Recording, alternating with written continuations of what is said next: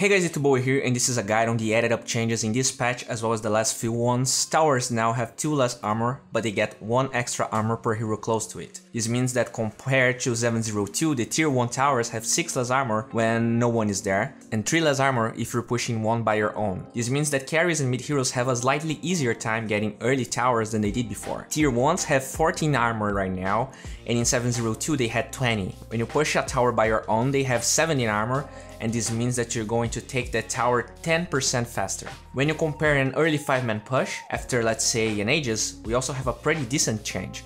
A tier 3 has 16 armor now, but if you push with 5 of your heroes, the armor value goes to 31. The difference in damage dealt to the tower is almost 50%. A 5 man push is ridiculously harder to pull off than it was before. That's not counting all the mechanics that were added kinda favoring late game. Reduced AoE experience, melee creeps giving more gold as time went on, and many other changes. The AoE in this armor was even increased to 1400, meaning that it's pretty hard to avoid that extra armor by just standing further away from the tower while your core pushes. Shrines got another nerf in the HP regen, so when you compare them to 702, they are 30% weaker when we're talking about HP regen. There was a small buff to intelligence heroes, not only in the 6.6% increase in spell damage, since you get more of the increase with more intelligence than it was before. Uh, a lot of small changes to intelligence heroes like Zeus uh, were added, so you should check them out. They weren't very huge, but I feel like uh, this is going to take the meta in a different direction. With all these changes, maybe we start seeing more intelligence cores back into the meta. We also saw a 9% reduced experience to go from level 20 to level 25 a pretty decent buff to heroes that have strong level 25 talents. It's also a change made to balance the Midas change. The item is more about gold and less about experience than it was before. But I would say that the item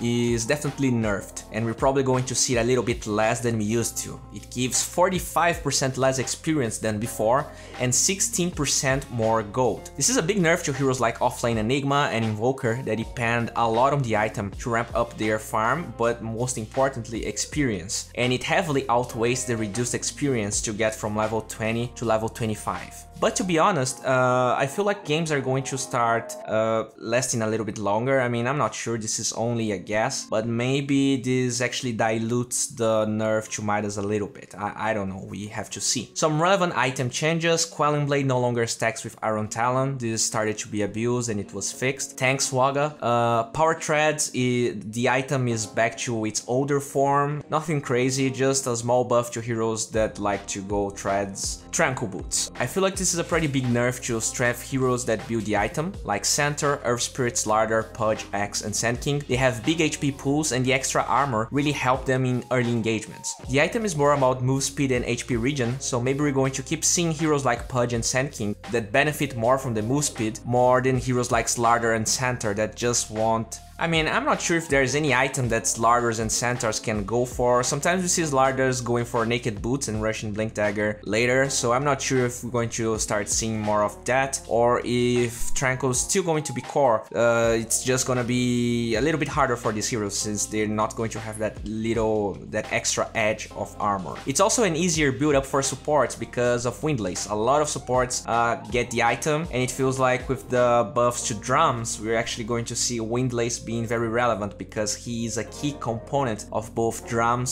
and Tranquil Boots. So you kinda, I mean, as a support, you can choose to go either way. I feel like Tranquil's is a little bit cheaper, so we're probably going to see a little bit, uh, so we're probably going to see more of that. But with drums giving mana regen, you never know. Orb of Venom. Uh, this is a slight nerf to roaming heroes in general, as you're going to see with the patch notes. Most of the big roamers, Earth Spirit and Monkey King got nerfed, so uh, this might feel very minor, but when you add up everything, uh, it feels like a pretty decent nerf. As of now, pretty much every game has a roamer. Earth Spirit, Monkey King, Riki, Bounty Hunter, Ogres, Slardar, they almost always go for the item, and since most of those heroes are highly mobile, the slow duration allowed them to keep chasing heroes very easily in the early game. The DPS was changed to compensate these low durations slightly, but this was definitely a nerf. It's not like the item is over, because it's not, but I feel like roaming was becoming the way to go for every game and this can tune things down a little bit. Relevant hero changes. Alchemist is weaker in the lane stage now, since the radius from Acid Spray increases with levels. At level 1, it's way easier to find good spots to last hit and harass the Alch, since before pretty much every hero, even range heroes, suffered when they tried to go on him. The cooldown on Chemical Rage is also pretty big now, uh, it was a 20% increase, and the downtime is also bigger. So you need to think twice before using the ult to farm, since you're more likely to die without it, especially in the early levels, uh, when you're not going to have a lot of items.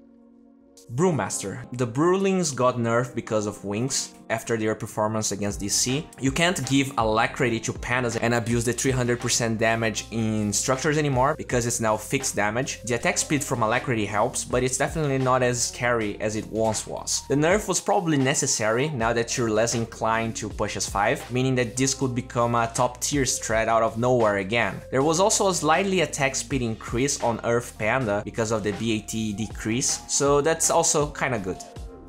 Bristleback. He didn't have a lot of big changes in this patch, only the radius of the Quill Sprays, but he has received tons of buffs in 7.0.0 and maybe we start seeing him more with the cost increase of Silver Edge and overall meta changes and experimentation that comes with it. It's been a long time since IceFrog tried to make Doom less dependent on his ult and an overall more balanced hero, even though this was the main force behind buffing his second skill, removing level death and all that. The changes on this patch seems to make Doom stronger but doesn't change his main problems. He is very reliant on his ult. Maybe with the DPS increase we start to see Doom being actually deadly instead of only a get away from the fight for 15 seconds, but I'm not sure if this is enough to make pros start experiment more with him, especially because the Doom DPS talent is now at the same tier that the Ancient Devour talent, meaning you have to choose between them. I like that it's easier to get the Devour talent now because it seemed a little bit underwhelming at level 25, but only time will tell how relevant this really is. Earth Spirit. With the changes on Orb Venom as well as his Rolling Boulder nerf, we're going to see the hero having a harder time to execute his kills in the early game and perform at the highest level, especially because the nerf was almost 50% of the slow at level 1. Uh, it's the same in the, in the last level, but 50% is pretty big. Lich. With experience being harder to get in the early stages, roaming being nerfed and sacrifice being buffed, you can see how big the Chain Frost change can be. For a long time, a lot of people asked for a projectile speed increase to Chain Frost, and while this is not as good, I feel like this can finally make Lich viable again, so probably one of the biggest buffs in my opinion.